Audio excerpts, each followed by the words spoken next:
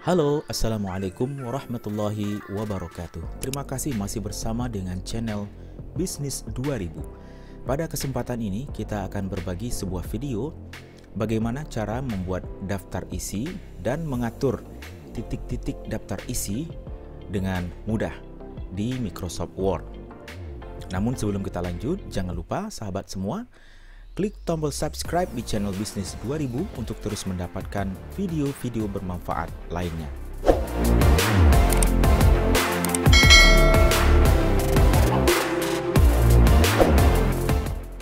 Oke sahabat, kita langsung saja.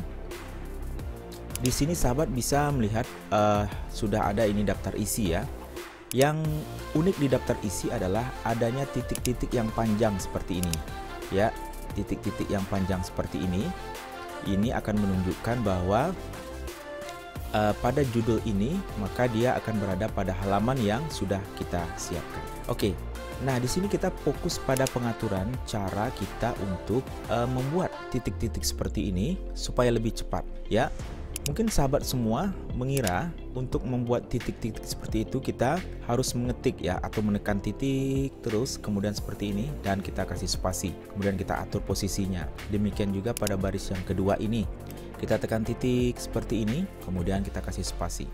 Nah, ini adalah cara yang salah dan kita harus lakukan cara yang lebih cepat. Oke sahabat, kita langsung saja. Nah, di sini yang sahabat harus lakukan pertama kali adalah yaitu memblok seluruh bagian yang akan kita atur. Oke, setelah kita blok, maka di bagian ruler di atas sini, sahabat lihat di sebelah kanan di sini ada uh, bagian untuk memilih tab. Ya, kita akan membuat semacam tabulasi. Uh, ini kita ambil, kita cari di sini yaitu tab yang right tab. Ya, seperti itu. Sudah ya. Dan kemudian kita klik tahan di sini sampai muncul seperti itu, klik tahan, kemudian ini kita geser.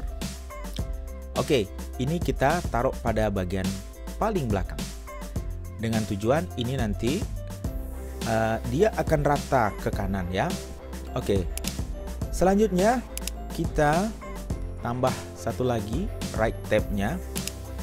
Ya, klik tahan, kemudian kita geser pas di sini.